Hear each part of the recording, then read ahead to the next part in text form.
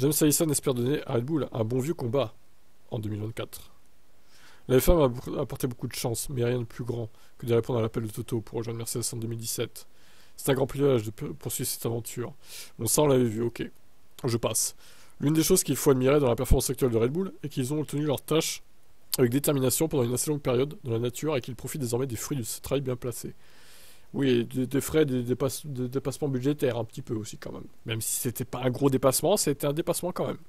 C'est loin d'être désagréable dans cette position, tant que l'équipe est collectivement convaincue qu'elle prend les bonnes décisions pour tenter de se rétablir comme une force avec laquelle il faut compter.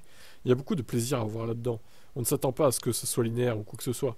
C'est toujours une montagne russe de non-espoir, d'être giflé et frappé par les dieux de la course, puis de rassembler à nouveau ses jupes pour avoir une autre poussée. J'espère que ce voyage vers le haut sera raide, solide et sécurisé.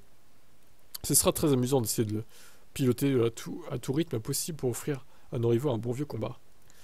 Il est, très poétique hein, dans ses déclarations, je trouve, James Allison.